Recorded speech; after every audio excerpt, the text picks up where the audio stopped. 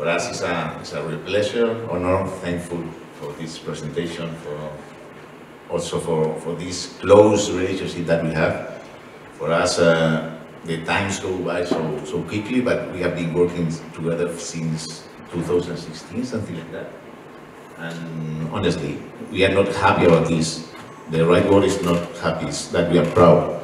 Uh, when you talk about humble, uh, you talk about Croatia. Croatia means humble, and we are so proud and thankful that you that you are one of our ambassadors. And you have helped, you have helped us to grow in humble. Later on, come Spain, come others uh, national team, but you are our first ambassador, so we are thankful about that. And we can only say thanks for this, for this event, for treating us, us like that, and for, for respect our brand. Dres koji će vjerujem izazvati najviše oduševljenja. Molim vas da ga pokažete. To nije više onaj svjetlo plavi ili bornarski, nego sve naše kategorije rukometašica i rukometaša osvojili su 11 medalja. Vidjet ćete ih za nekoliko trenutaka još, dakle, od mlađih kadeta preko kadeta, juniora koji su osvojili srebro i naravno super izgledaju dresovi. Zapravo ispalo uh, puno bolje čak nego što smo očekivali.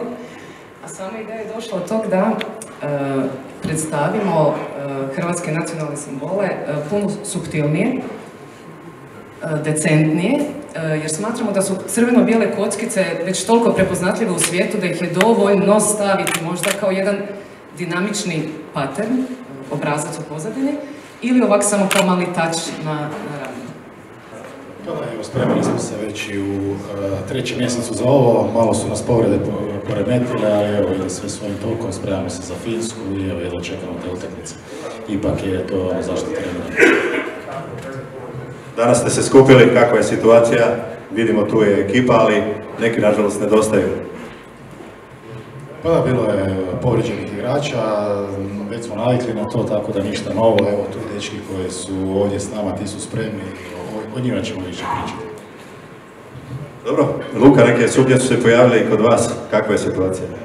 Pa dobro, sve ok, dobio sam neki manji odmah zadnjih dana, ali dobro, sve ok, zdravo.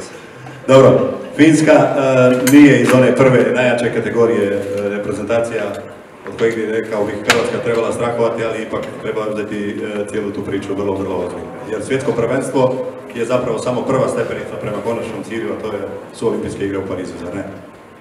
Naravno, mislim, ne, ne toliko poznat, poznata reprezentacija za nas, ovaj, ali potpuno respektiramo njih i eto, mislim da ova utakmica, to je dvije utakmice, da, da, da, će nam super doći, da, da, da pokažemo da, da, da, vrijedimo ovaj, se za medalju svaki put. I eto, unatoč nekim ne, ne tako rezultatima ovaj, koje, smo, koje smo očekivali za ih natjecanja, mislim da smo željni, željni uspjeha i dobrih rezultata.